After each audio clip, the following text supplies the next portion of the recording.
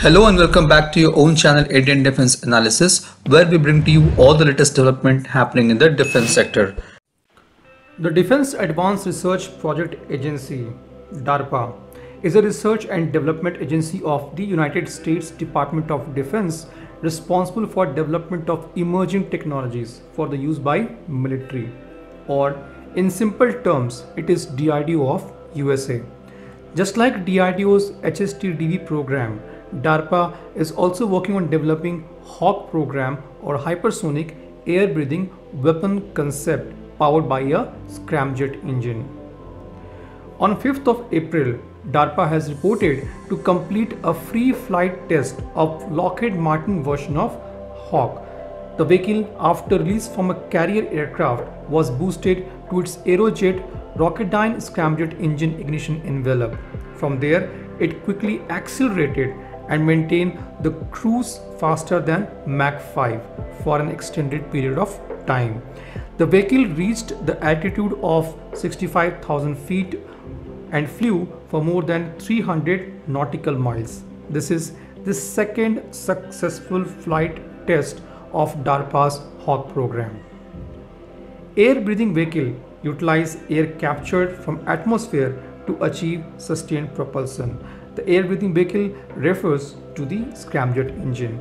The speed and maneuverability of such hypersonic cruise missiles allow both evasion of defenses and quick strikes.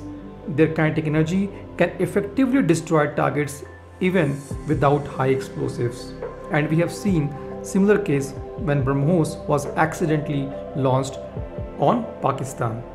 Back on September 2021, DARPA in partnership with US Air Force completed a similar free flight test of its hypersonic air-breathing weapon concept. The missile was built by Raytheon Technologies and not by Lockheed Martin, and it was released from an aircraft seconds before its Northrop Grumman scramjet or supersonic combustion ramjet engine kicked on. The engine compressed incoming air mixed with its hydrocarbon fuel and began igniting that fast moving airflow mixture propelling the cruiser at a speed greater than Mach 5. If we compare the test conducted by DARPA with the one conducted by DRDO back in September 2020, we found that the flight altitude of HAWC of Lockheed Martin is close to 19.8 kilometers during the test and DRDO's HSTDV achieved a flight altitude of 30 kilometers. HAWC was able to achieve the speed of Mach 5 whereas HSTDV was able to achieve the speed of Mach 6.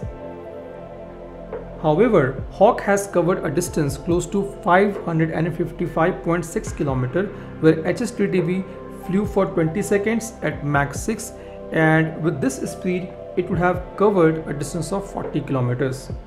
Recently, we have also reported that DRDO is also preparing for the next test of HSTDV which would be HS04. It would be interesting to see what would be the test result of DRDO's HSTDV. This was today's update. Please let us know what is your views about these in comment section.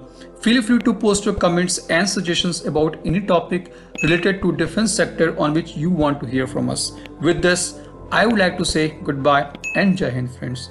Please like and subscribe our video if you have not done already. We'll be soon back with more interesting and amazing development happening in defense sector.